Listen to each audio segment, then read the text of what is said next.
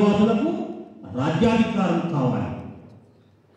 నేను ఈ సందర్భంగా ఇక్కడ ఉన్నటువంటి మేధావులకు ప్రజా సంఘాలకు రాజకీయ ప్రముఖులకు అందరికీ నేను విజ్ఞప్తి చేస్తున్నాను. మనము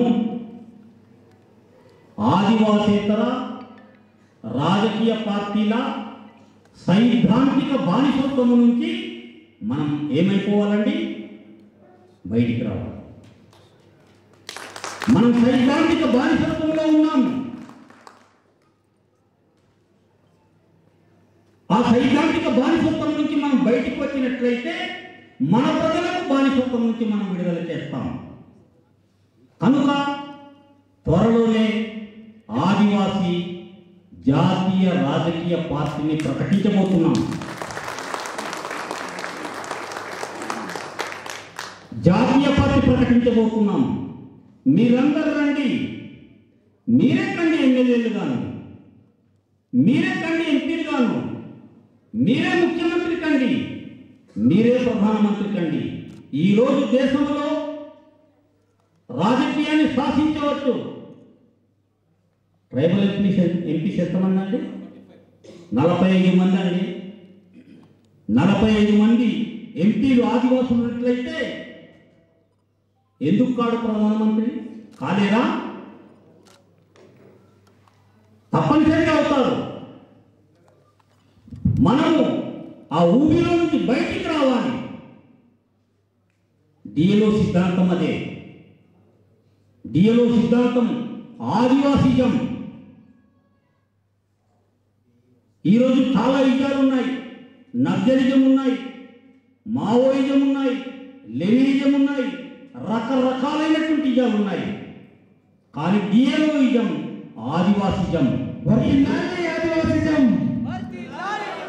వర్తిల్లాలి ఆదివాసిజం. వర్తిల్లాలి ఆదివాసిజం. ఈ దేశం ఆదివాసులది ఈ సంపద ఆదివాసులది సమస్తం ఆదివాసులది. కానీ ఈరోజు ఆదివాసుల పాపం బిక్కు బిక్కుమంటున్నారు.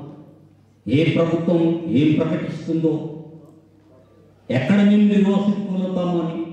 చూడండి మొత్తం మనం ఆలోచన చేద్దాం ఏ ప్రాజెక్టు కడితే ఆదివాసులకు మేలు జరిగింది చెప్పండి? నేను పోలవరం నేను వెళ్ళాను నిజంగా అక్కడ వెళ్ళి చూశాను నేను. పోలవరం ప్రాజెక్టు జాతీయ ప్రాజెక్ట్ అంటున్నారు అందరూ కూడా.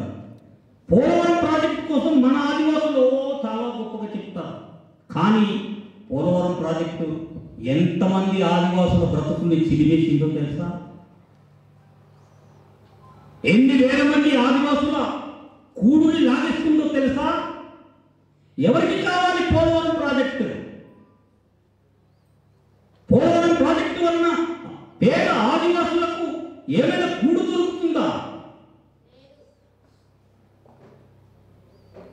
కానీ వాటి కోసమే మనం చాలా చాలా గొప్పగా చాలా గర్వంగా మనం మాట్లాడతాం. ఈ ప్రాజెక్టులంతా ఆదివాసుల్ని సర్వనాశనం చేసేటటువంటిది. ఇక ఎన్నడూ కూడా ఆదివాసీ ప్రాంతంలో ఏ చిన్న ప్రాజెక్టు కూడా నిర్మించకుండా మనం అడ్డుకోవాల్సినటువంటి ఆవశ్యకత ఉందని ఈ సందర్భంగా నేను కోరుతున్నాను. ఇటీవల చింతపల్లి కొయ్యూరు మండలాల్లో కూడా హైడల్ ప్రాజెక్ట్ అట దాదాపుగా ముప్పై ఐదు గ్రామాలు మూడు వేల ఐదు వందల ఎకరాల పంట భూములు నాశనం అయిపోతుంది అక్కడ. ఏమంటారు వాళ్ళు? ఒక్క గ్రామమే ఒక్క గ్రామమేనండి. ఏమి ఒక గ్రామం అంటే అంత సులువా? ఒక గ్రామము కాదు. మహాభారతములో కౌరవులు అంటారనమాట సూది మన మోపిటింత స్థలం కూడా నేను ఇవ్వను పో అంటాడు అంతే సూది మొన అంట. అంటే వాళ్ళకి హక్కు లేదు అని అర్థం. చట్టాలు ఏం చెప్తుంది రాజ్యాంగం ఏం చెప్తుంది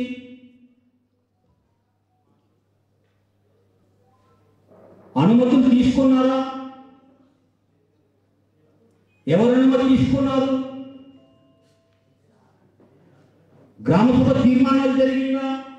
ఏమీ లేకుండానే అక్కడ హైడ్రల్ ప్రాజెక్ట్ నిర్మిస్తారు ఎవరి కోసం hydel project? Multi million corporate సంస్థలకు ఆ మల్టీ మిలియన్స్ పేదవాడికి పేదవాడికి ఉపయోగం లేనటువంటి ఏ ప్రాజెక్టులైనా సరే దండకారణ్య విమోచన సమితి నిర్ద్వంద్వంగా వాటిని ఖండిస్తుంది దాన్ని వ్యతిరేకిస్తుంది వాటిని అడ్డుకొని తీరుతుందని ఈ నేను తెలియజేస్తాను.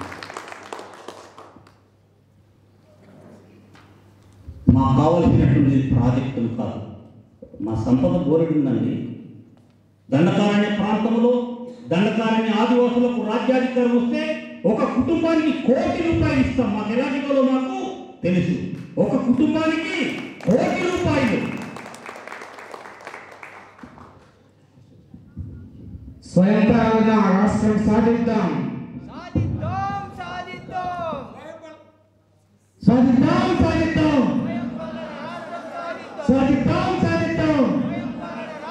వర్ధిల్లాలి ఆదివాసుల ఐక్యత ఎలా ఇవ్వాలో ఎలా ఇవ్వాలో మా దగ్గర స్పష్టమైనటువంటి ప్రణాళిక ఉంది.